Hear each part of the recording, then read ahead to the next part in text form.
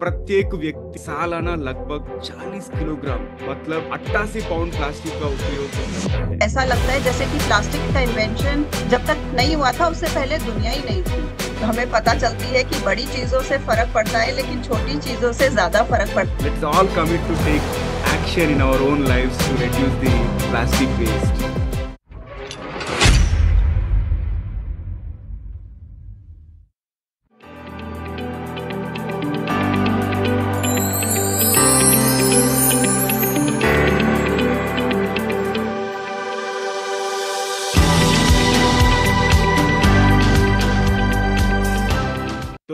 TGV Hindi में आपका स्वागत है। टीजीवी हिंदी आपके बेहतर भविष्य के लिए। और Naveen Samla the guiding voice platform का फाउंडर और चीफ होस्ट यानी व्यवस्थापक और मुख्य मेजबान। और मैं हूँ पायल मित्तल टीजीवी हिंदी में आपकी को होस्ट और द गाइडिंग वॉइस हिंदी के माध्यम से भी हम इस दुनिया को कुछ बेहतर बनाना चाहते हैं। हम महत्वपूर्ण बातें करते हैं जिससे कि आपके जीवन और करियर को कुछ बेहतर बना सके। सो नवीन हमें अपने जो पिछले दो एपिसोड्स हैं उन पे बहुत अच्छा हमारे को रिस्पांस मिला है हमारी ऑडियंस की जो कि थे इलेक्ट्रिसिटी कंजम्पशन और दूसरा टॉपिक था वाटर कंजर्वेशन हाँ। आज मैं आपसे एक सवाल पूछकर बात शुरू करना चाहता हूँ। पायल आप बताइए ऐसी कौन सी चीज़ है जो आप हर जगह देखते हैं और वास्तव में ये आपको परेशान करती है? ओके सच बोलूँ तो एक चीज़ वाकई में बहुत ज़्यादा बॉदर करती है जो कि है प्लास्टिक। एंड उसका जो हम एक अपनी डेली लाइफ में जो यूज़ देखते हैं इस्तेमाल देखते हैं प्लास्टिक का हर जगह प्लास्टिक है। तो ऐसा लगता है जैसे कि प्लास्टिक का इन्वेंशन जब तक नहीं हुआ था उससे पहले दुनिया ही नहीं थी। तो I don't know how it became such an integral part of our lifes exactly और यही वजह है कि ये हमारे आज का टॉपिक भी ये सस्टेनेबल लिविंग सीरीज़ मतलब सतत जीवन सीरीज़ में आज हम प्लास्टिक के यूज़ और डिसएडवांटेज और ये प्लास्टिक को उपयोग कैसे कम करना, उसके बारे में बात करेंगे। और प्लास्टिक हमारे दैनिक जीवन में एक हिस्सा बन गया है। प्लास्टिक यह बहुमुखी, टिकाऊ और सुविधाजनक है। लेकिन इसकी भारी पर्यावरणीय लागत भी आती है। तो आज हम इसका डिसएडवांटेजेस और प्लास्टिक का यूसेज रिस्पॉन्सिबल यूसेज कैसे करना और अल्टरनेटिव्स कुछ है तो उसके बारे में बात करेंगे और इसके अलावा जो कंट्रीज़ अच्छी तरह से बेस्ट प्रैक्टिसेस इम्प्लीमेंट कर रहे हैं राइट प्लास्टिक प्रदूषण से निपटने के लिए कुछ प्रेरक वैश्विक प्रयासों पर भी नज़र डालेंगे। और हम शुरू करते हैं थोड़ा मेट्रिक्स के साथ। राइट मैं एक yes. मैं आपको एक वैश्विक प्लास्टिक उपयोग मैट्रिक्स के बारे में कुछ विवरण बताता हूँ। वार्षिक उत्पादन इसका है इतना है कि 380 मिलियन टन से अधिक प्लास्टिक का उत्पादन होता है और उनमें से कम से कम 50 percent of the plastic is single use purpose मतलब एक बार यूज़ करके हम उसे फेंक देते हैं। And you know that is the most dangerous one और उसके अलावा yes. हम हर साल आठ मिलियन टन प्लास्टिक कचरा महासागरों में पहुँच जाता है। Eight million tons of plastic waste is getting into oceans.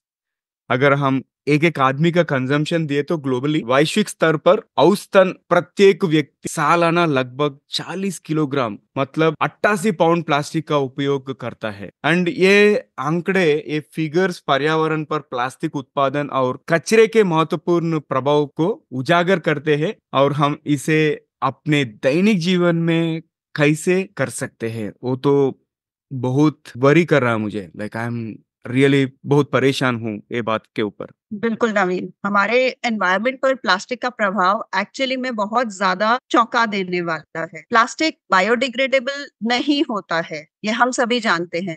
वो टूटकर माइक्रोप्लास्टिक नामक छोटे टुकड़ों में टूट जाता है और वो सदियों तक like for decades and decades together वो हमारे एनवायरमेंट में बना रहता है। और ये माइक्रोप्लास्टिक्स हमारे मिट्टी हमारे सॉइल में और पानी में मिल करके उसको पल्यूटेड कर देते हैं। जिससे जो हमारे वन्य जीव हैं और हमारा जो ह्यूमन हेल्थ है उस दोनों के लिए ही एक बहुत गंभीर खतरा पैदा होता है। या सही है पायल। और महासागर प्रदूषण भी एक बड़ा मुद्दा है। हर साल लगभग 80 लाख टन प्लास्टिक कचरा महासागरों में पहुँच जाता है और ये न केवल समुद्री जीवन को नुकसान पहुंचाता है, जैसे कछुआ का प्लास्टिक की तैलियों में फंसना और मछलियों को प्लास्टिक के कणों को निगलना, बल्कि ये हमारा फ़ूड चेन के ऊपर बहुत सारा बुरा असर पड़ रहा है right you know that yes बिल्कुल। और बुरा लगता है अपने जो हमारे ओशंस में रहने वाले, जो हमारी स्पीशीज हैं, उनके लिए क्योंकि वो बोल भी नहीं पाते हैं and they suffer a lot because of this plastic तो प्लास्टिक के जो जुड़े हुए हमारे स्वास्थ्य जोखिम है उनको हमें भूलना नहीं चाहिए। इसके अंदर बीपीए और ऐसे हानिकारक रसायन होते हैं हाँ. जो हमारे भोजन और पानी में पहुँच सकते हैं जिससे हेल्थ प्रॉब्लम्स हैं वो जनरेट हो सकती हैं और हार्मोनल इम्बैलेंस तो आजकल हम बहुत ज़्यादा देख रहे हैं starting from teenagers hmm hmm hmm. और हम ये प्लास्टिक प्रोडक्शन के बारे में बात करें तो ये प्लास्टिक प्रोडक्शन भी बहुत रिसोर्स इंटेंसिव है। बहुत सारा फॉजिल फ्यूल्स के ऊपर डिपेंड करती है। और मैं इसके पहले एक बात बताई है ना 380 मिलियन टन का प्लास्टिक प्रोड्यूस हो रहा है हर साल। उसमें से खाली नौ प्रतिशत रिसाइकिल हो रहा है। एंड बाकी का पूरा is going into waste this is also very tough thing right मुझे बहुत बुरा लगता है उसके बारे में सोचे तो। और इन चैलेंजेस को, चुनौतियों को देखते हुए हमें, हमारे प्लास्टिक के उपयोग पर ज़िम्मेदारी लेने की आवश्यकता है। For instance just for a start अगर मैं ऐसे बोलूँ तो हम सिंगल यूज़ प्लास्टिक पर हमारी जो डिपेंडेंसी है, उसको कम कर सकते हैं। और इसके लिए मैं अगर, कहते हैं ना कि चैरिटी बिगिंस एट होम वाली चीज़ होती है तो उसके लिए मैं घर से वो अगर स्टार्ट करना होता है तो मैं पानी की बोतल और शॉपिंग बैग अपने साथ रखती हूँ। और ये एक नॉर्मल आदत है और हमारे घर में सभी को ये आदत है कि वो अपने साथ लेकर के जाए इस चीज़ को। इससे हम लोग बार बार वहाँ पर वो सिंगल यूज़ प्लास्टिक बॉटल नहीं खरीदते हैं। सही है और मैं भी ऐसा करता हूँ कि ओल्ड प्लास्टिक जार्स जो भी अगर हॉर्लिक्स नहीं तो बूस्ट जैसा हेल्थ ड्रिंक्स आता है and also some chocolates right decent quality का आता है सो so, हम लोग उनको नहीं फेंकते हैं। So we use it as a container to store some groceries और उसके अलावा प्लांट्स uh, रखने के लिए भी हम यूज़ करते हैं।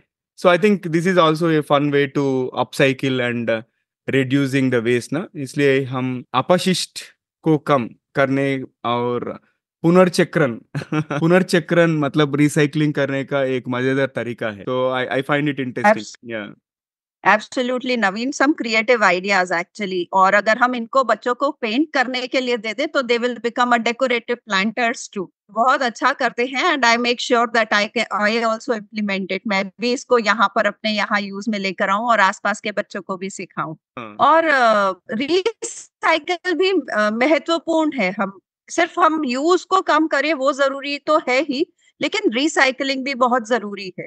और हमें ये सुनिश्चित करना होगा कि हम जो गाइडलाइंस हैं हमारी लोकल गाइडलाइंस हैं उनको फॉलो करें प्लास्टिक के रीयूज के लिए।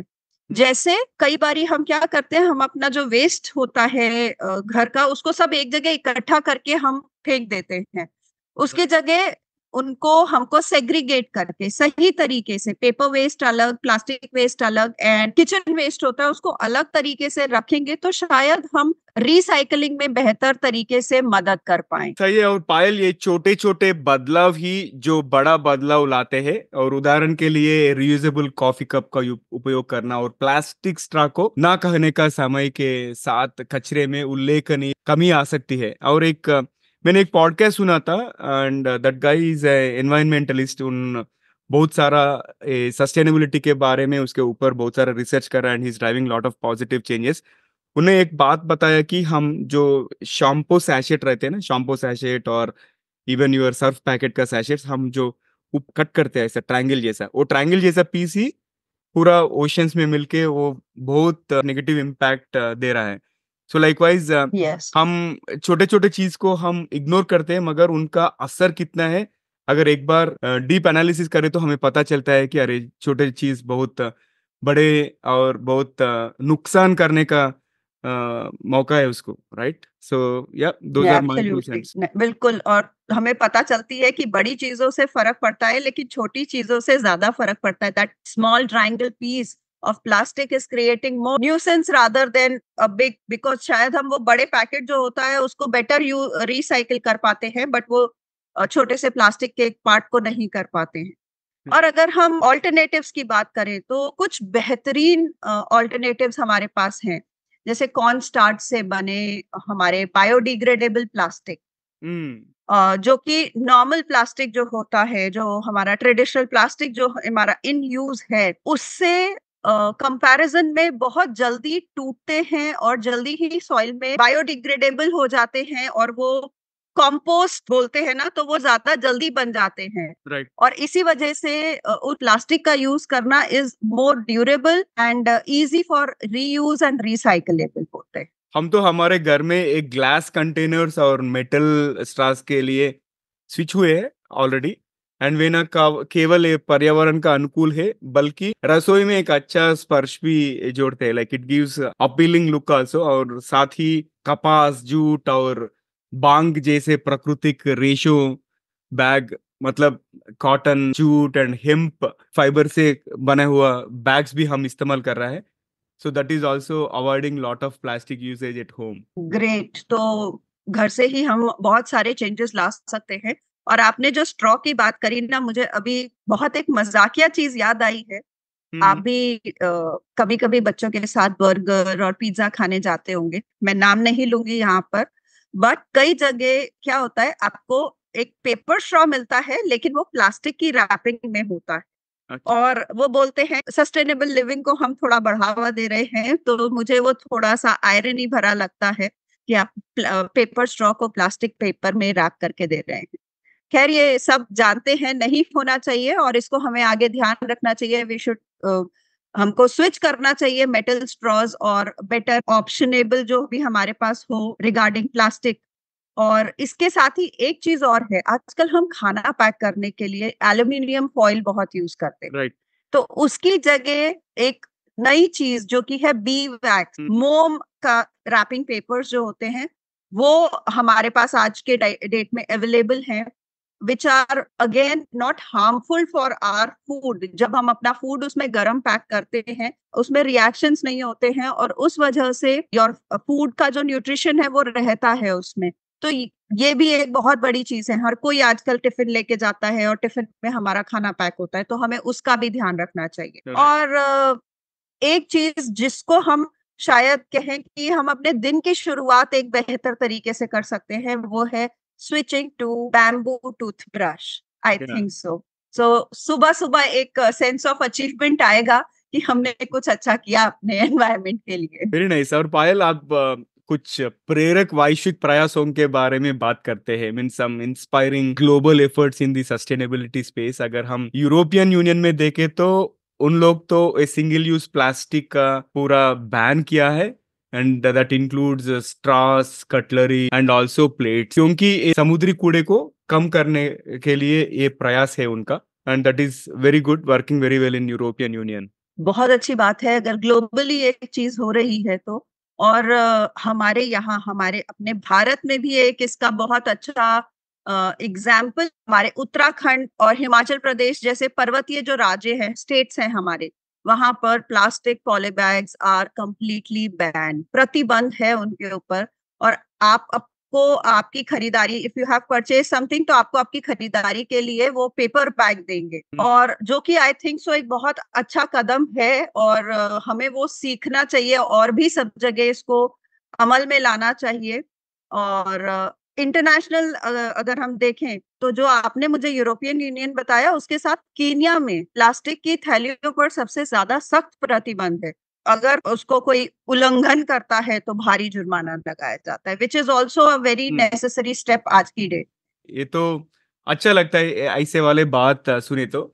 और हम कंपनीज़ के बारे में बात करें तो कुछ कंपनियाँ भी आगे बढ़ रही है अच्छी तरह से। उदाहरण के लिए ये यूनिलीवर और कोको कोला टिकाऊ पैकेजिंग समाधानों में निवेश कर रहे हैं। Means they are investing heavily on sustainable packaging solutions और एक वृत्ताकार अर्थव्यवस्था की और रुझान बढ़ रहा है, जहाँ सामग्रियों को यदा संभव पुनः उपयोग और पुनर्चक्रण किया जाता है, जिससे अपशिष्ट कम होता है। मीन टू रिड्यूस और टू मिनिमाइज द वेस्ट और ये सर्कुलर इकोनॉमी बोलते हैं ना, उसके बारे में बहुत सारा फोकस है आजकल में। पहला एपिसोड में बोला था कि कॉर्पोरेट सस्टेनेबिलिटी रिपोर्टिंग डायरेक्टिव के बारे में so that is also focusing on circular economy और यहाँ पे ऐसा फोकस देना चाहे कि जो भी मटेरियल हम यूज़ कर रहे हैं, वो रीयूज़ हो सकता है और रिसाइकिल भी हो सकता है, सो दैट वेस्ट को कम कर सकते हैं, right? And that is one thing और उसके अलावा हम सस्टेनेबल कटलरी के बारे में भी बात करेंगे। अब आप इसके पहले बैम्बू टूथब्रश के बारे में बात करें ना and have you also checked about bamboo cutlery? Yes bamboo has done an amazing job क्यों? क्योंकि वो फास्ट ग्रोइंग है रिन्यूएबल है और कंपोस्टेबल है। और कंपनीज़ जो कि जिनके नाम मैं बता रही हूँ bamboo B A M B U and totally bamboo are leading the way जो कि हमारे इको फ्रेंडली यूटेंसिल्स बना रहे हैं और सर्विंग पीसेस बना रहे हैं जिनमें हम खाना परोस सकते हैं पायल वो तो बिल्कुल सही तरीका है और लकड़ी की कटलरिया एक और बढ़िया विकल्प है ना? ये बायोडिग्रेडेबल है और अक्सर खाद बनाने योग्य होता है और क्या बोलते हैं एक कंपनी दो कंपनीज़ का नाम याद आता है मुझे, वुड एबल एंड इकोगेको एंड ये दोनों कंपनी एक अच्छे तरह से fantastic sustainability sourced wooden cutlery का उत्पादन कर रहे हैं। And it is good to see companies making lot of investment on the ESG initiatives और आजकल हम इन्वेस्टर्स के बारे में बात करें तो जो भी स्टार्टअप ये ईएसजी स्पेस में प्रोडक्ट्स के ऊपर ध्यान दे रहे हैं, उनको बहुत सारा इन्वेस्टमेंट भी मिल रहा है। Because the entire world is focusing on ESG. और अ, साथ ही मैंने बात करी बैम्बू की, आपने बात करी लकड़ी की, तो हम स्टेनलेस स्टील कटलरी को कैसे बोल सकते हैं? सही है। ये बहुत लंबे समय तक चलने वाला एक ऑप्शन अवेलेबल है हमारे पास में और इसके लिए eco buddies and flat turtle amazing great stainless steel sets बना रहे हैं जो कि आपको खाने के स्वाद के साथ शायद देखने में भी अच्छा लगे आपको जब आप उसमें खाना परोसे तो that can also be a good option absolutely. मगर आजकल अगर स्टेनलेस ग्लास, स्टेनलेस प्लेट हो यूज़ करें तो बहुत लोग ऐसे देखते हैं कि ओह my god these are all old fashioned. मगर उनका यूज़ यस देखें तो राइट वो बहुत लंबे समय तक चलता है। We are ignoring that fact right? Right और कॉर्न स्टार्च या टी एल ए जैसी पौधों पर आधारित सामग्रियों से बनी कंपोस्टेबल बायोप्लास्टिक कटलरी भी मौजूद है। अगर कंपनीज़ के बारे में बात करें तो ग्रीनवर्क्स एंड इको प्रोडक्ट्स जैसे कंपनी ऐसे वाला कंपोस्टेबल ऑप्शंस का उपलब्ध कर रहा है। Right? So this is also another good initiative. ये तो हुई बात कि हम अलग-अलग किन चीज़ों का यूज़ कर सकते हैं। लेकिन क्या आपने नवीन एडिबल कटलरी के बारे में सुना है? यू नो अभी मैं थोड़े दिन पहले गई थी एक जगह to have a lunch with my family और हमने सूप ऑर्डर किया और उसके साथ में जो spoon I we were like हमने तो उसको वैसे ही साइड में रख दिया प्लेट के but then the waiter very kindly हमको उन्होंने बताया कि मैम आप ये इसको एंजॉय कर सकते हैं you can eat it like a biscuit तो we were so like amazed that okay this is also so ऐसा नहीं है कि लोग सोच नहीं रहे हैं इस बारे में बट द थिंग इज़ कि we have to bring them up to show that what good things they are doing और उसके लिए कंपनी है बेकीज इंडिया में एंड प्लांटियर जो कि इस तरीके की कटलरी बना रही हैं। और एक्चुअली में शायद हम वहाँ पे रिड्यूस वेस्ट की बात नहीं ज़ीरो वेस्ट तक पहुँच सकते हैं। ये तो बहुत बढ़िया है और ए, अंत में ये और एक या और एक बात याद आया कि रिसाइकिल्ड मेटल कटलरी और एक इको फ्रेंडली ऑप्शन है।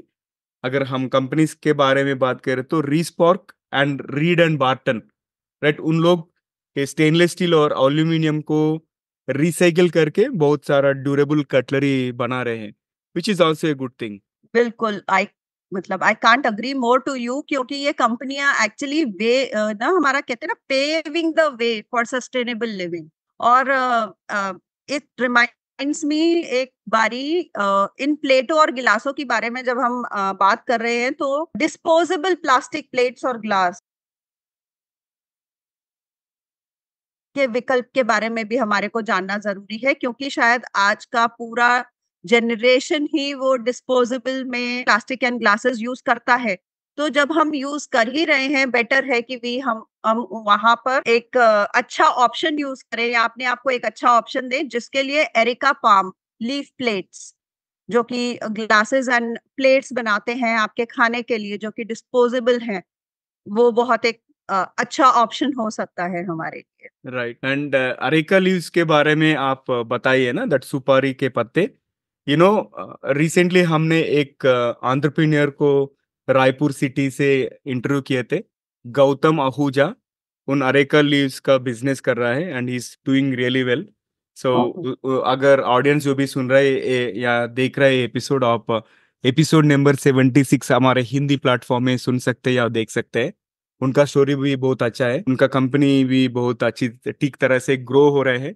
एंड uh, हम अरेका पाम लीव्स के बारे में बात करें तो ये गिरे हुए सुपारी के पत्ते से बना पूरी तरह से बायोडिग्रेडेबल और खाद्य योग्य means which is easy to decompose and easy to biodegrade right disposable products का भी बहुत डिमांड uh, चल रही है आजकल और पूरी तरह से बायोडिग्रेडेबल और खाद्य योग्य है।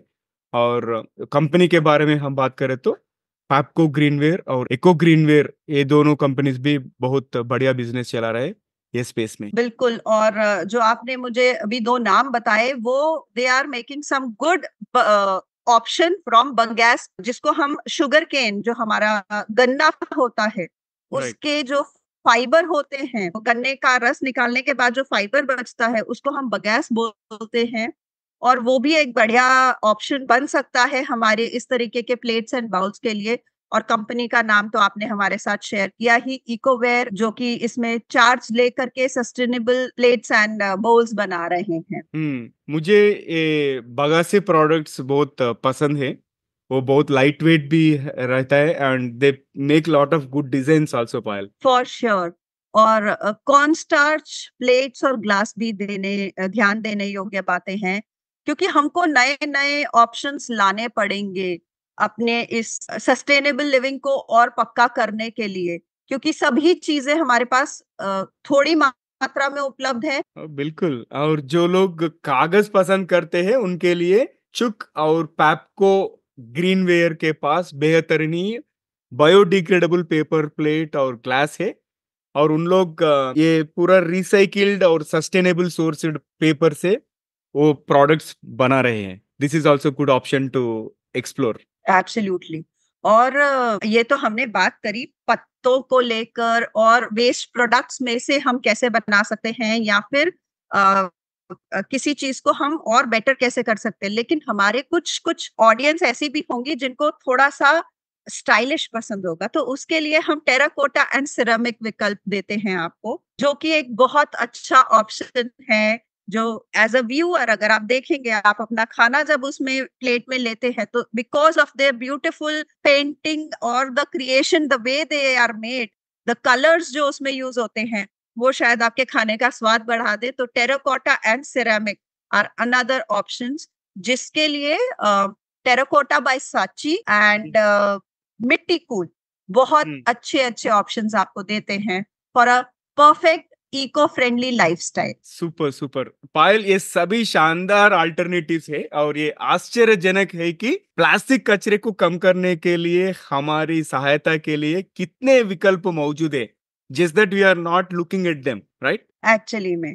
और जब मैं अपनी अगली पीढ़ी के बारे में सोचती हूँ कि वे क्या ये प्लास्टिक और इसके जो हम यूज़ करने के बाद इनके जो परिणाम हमको समझ में आते हैं वो बहुत ज़्यादा प्रॉमिसिंग तो नहीं लगते हैं मैं सच बताऊँ, लेकिन अगर हम अभी से इन biodegradable cutleries and sustainable cutleries और plates and paper plates and other जो ऑप्शंस हैं हमारे उनके बारे में अगर हम सोचेंगे तो शायद बेहतर होगा। और ऑल्सो मैं ये देखती हूँ कि जो हमारी अगली जनरेशन है, जैसे अभी हमारे को एक मैंने इंस्टाग्राम पे रील देखी, वहाँ पर एक कपल ने जिन्होंने जिनकी अभी शादी हुई है उन्होंने अपनी शादी में सिर्फ़ बायोडिग्रेडेबल कटलरी रखी और उन्होंने एक बेहतरीन एग्ज़ाम्पल पेश किया हमारी सोसाइटी के लिए कि ज़रूरी नहीं है कि आप बहुत फैंसी प्लेटिंग सिस्टम होना चाहिए। It can be user friendly, eco friendly also और उसके बाद में जो खाना बचा, उन्होंने सिर्फ़ इस इस चीज़ को नहीं देखा कि हमको कटलरी कैसे रखनी है। उन्होंने जो खाना बचा, उसको भी जरूरतमंद लोगों तक पहुँचाया। After the marriage is all completed. तो दोनों ही चीज़ें अगर आज के हमारे जो जनरेशन है वो समझ रही है इस चीज़ को और अगर वो इस तरीके से स्टेप्स लेती है तो हमको उनको बहुत वेलकमिंग होना चाहिए, उनके लिए सराहना करनी चाहिए उनके इन स्टेप्स की और ये हमारे को बताता है कि हम दैनिक जीवन में छोटे सचेत विकल्प चुनकर कैसे अपना जीवन बेहतर बना सकते हैं।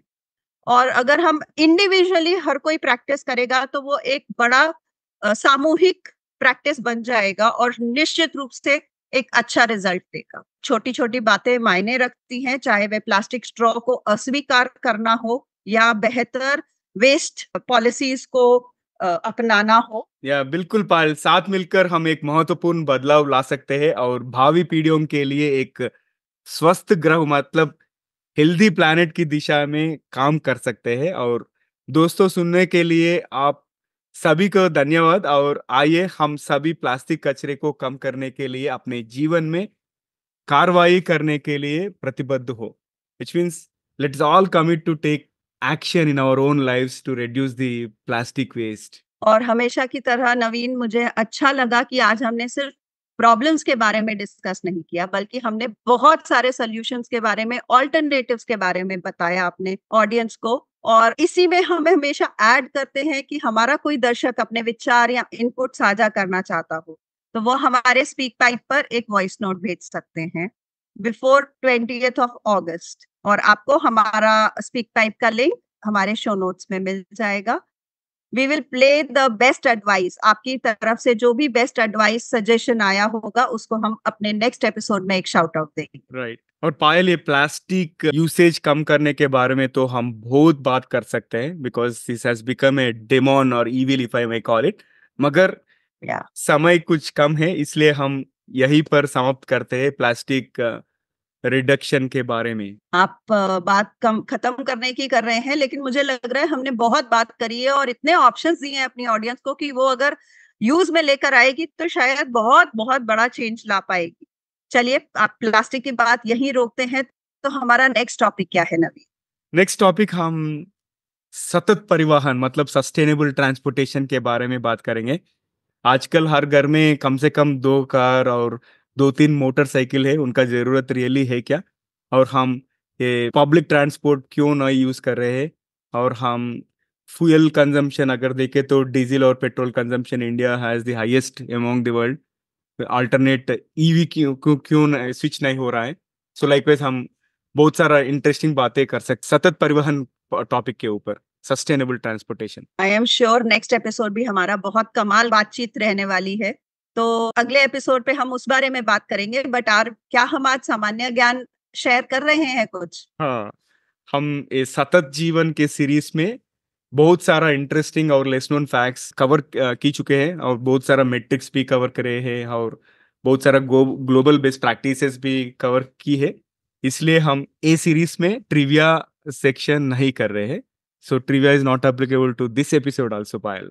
कोई बात नहीं, हम आगे के एपिसोड में सुनेंगे वो और दैट्स ऑल फॉर टुडे तो आज के पॉडकास्ट और एपिसोड यहीं पर समाप्त करते हैं। दोस्तों thank you so much for tuning in to TGV Hindi TGV Hindi में ट्यून करने के लिए बहुत बहुत धन्यवाद। अगर आपको कोई प्रतिक्रिया यानी सजेशन है, या अगर आप किसी को हमारे मेहमान के रूप में बुलाना चाहे तो हमें ज़रूर ईमेल करें।